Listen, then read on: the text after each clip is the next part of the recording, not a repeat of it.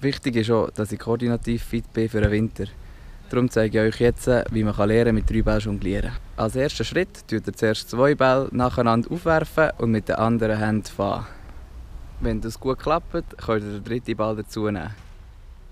Wichtig ist jetzt, geduldig sein und viel üben. Wenn ihr das gut beherrscht, dann könnt ihr dann zum Beispiel auch noch mit verschiedenen Gegenständen jonglieren. Das erschwert die Umstände noch ein bisschen.